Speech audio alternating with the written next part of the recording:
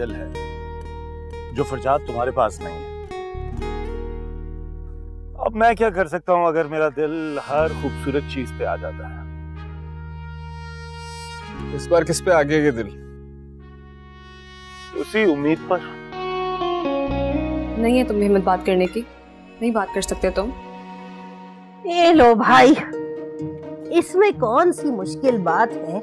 मैं बात कर लेती हूँ आगुजा? से। आपको पाशा साहब के सामने मेरी पोजीशन क्लियर करनी होगी।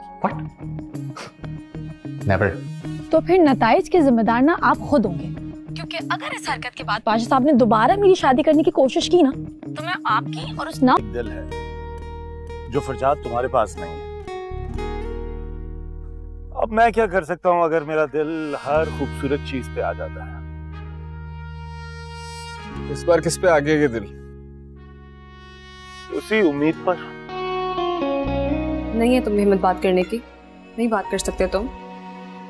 ये लो भाई इसमें कौन सी मुश्किल बात है? मैं बात कर लेती हूँ पाशा से। आपको पाशा साहब के सामने मेरी पोजीशन क्लियर करनी होगी। नेवर तो फिर नताइज के जिम्मेदार ना आप खुद होंगे।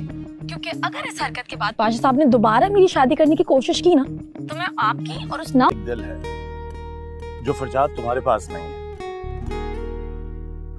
अब मैं क्या कर सकता हूँ अगर मेरा दिल हर खूबसूरत चीज़ पे आ जाता है? इस बार किस पे आ गया ये दिल? उसी उम्मीद पर। नहीं है तुम्हें हिम्मत बात करने की। नहीं बात कर सकते तुम। ये लो भाई इसमें कौन सी मुश्किल बात है? मैं बात कर लेती हूँ पाशा से। आपको पाशा साहब के सामने मेरी पोजीशन क्लियर करनी होगी। नेवर तो फिर नताइज के जिम्मेदार ना आप खुद होंगे। क्योंकि अगर इस हरकत के बाद पाशा साहब ने दोबारा मेरी शादी करने की कोशिश की ना तो मैं आपकी और उस नाम दिल है जो फरजाद तुम्हारे पास नहीं है। अब मैं क्या कर सकता हूँ अगर मेरा दिल हर खूबसूरत चीज़ पे आ जाता है? इस बार किस पे आ गया ये दिल? उसी उम्मीद पर। नहीं है तुम हिम्मत बात करने की। नहीं बात कर सकते तुम। ये लो भाई इसमें कौन सी मुश्किल बात है?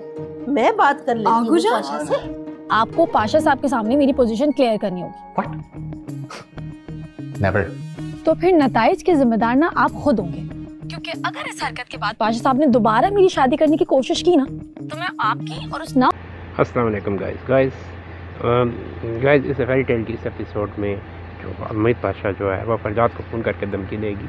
कि वो मेरे घर आके घर आके उम्मीद पाशा की पोजीशन क्लियर करे उसके बाप के सामने कि उम्मीद पाशा ऐसी लड़की नहीं है जिस तरह की वो एक्सपोज करके गया है वरना वो उसकी ज़िंदगी हजीरन कर देगी। जिस पर फरजाद कहता है वो ऐसा नहीं करेगा।